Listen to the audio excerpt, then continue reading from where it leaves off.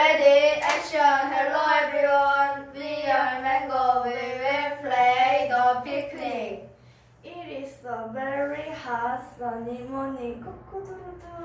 That says we can go on a picnic. Maria and I smile and quickly hop off of bed. First, we have to feed the animals. We feed the chickens and the pigs. Then we pack a basket full of food and drinks. We are done on our flight.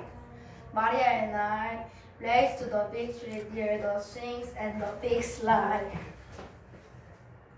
Dad follows us with a picnic basket. We spread our food on a blanket. Picnics are fun. The end. Thank you for listening.